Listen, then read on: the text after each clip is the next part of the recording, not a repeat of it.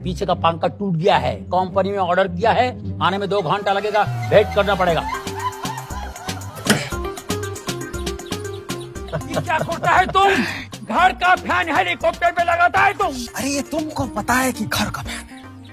हमको पता है कि ये घर का फ़ैन है। हेलीकॉप्टर को थोड़ी पता है कि ये घर का फ़ैन है।